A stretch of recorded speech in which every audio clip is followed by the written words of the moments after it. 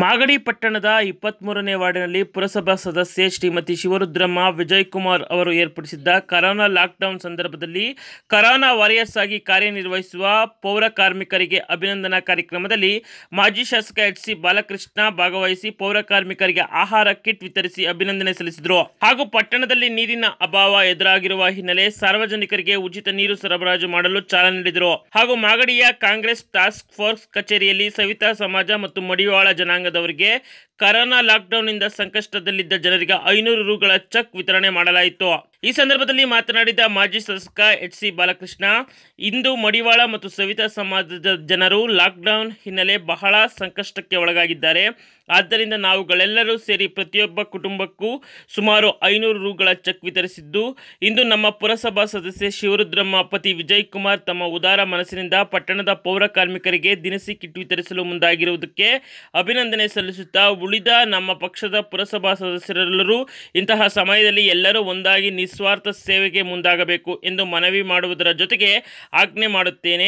ಹಾಗೂ ಪಟ್ಟಣದಲ್ಲಿ ಕುಡಿಯುವ ನೀರಿನ ಅಭಾವ ಎದುರಾಗಿರುವ ಹಿನ್ನೆಲೆ ನಮ್ಮ ಕಾಂಗ್ರೆಸ್ ಪಕ್ಷದ ವತಿಯಿಂದ ಇಂದಿನಿಂದ ಸಾರ್ವಜನಿಕರಿಗೆ ಉಚಿತವಾಗಿ ನೀರಿನ ಸರಬರಾಜು ಮಾಡುತ್ತೇವೆ, ಎಂದರು.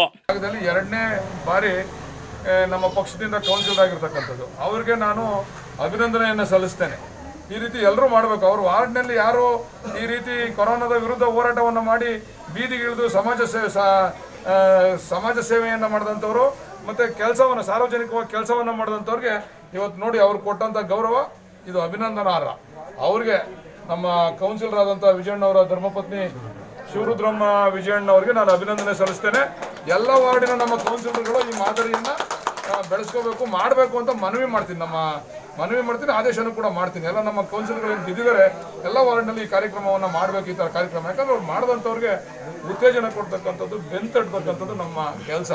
ಅಂದರೆ ಅವ್ರಿಗೆ ಈ ಕರೋನಾ ಬರ್ತದೆ ಅಂತಕ್ಕಂಥದ್ದನ್ನು ಎದುರ್ಕೊಳ್ದೇನೆ ನಮ್ಮ ಜೊತೆ ನಿಂತು ಪ್ರತಿನಿತ್ಯ ಜನಗಳ ಸೇವೆಯನ್ನು ಮಾಡ್ತಾ ಇರ್ತಕ್ಕಂಥವ್ರಿಗೆ ಉತ್ತೇಜನ ಕೊಡ್ತಕ್ಕಂಥದ್ದು ನಮ್ಮ ಕೆಲಸ.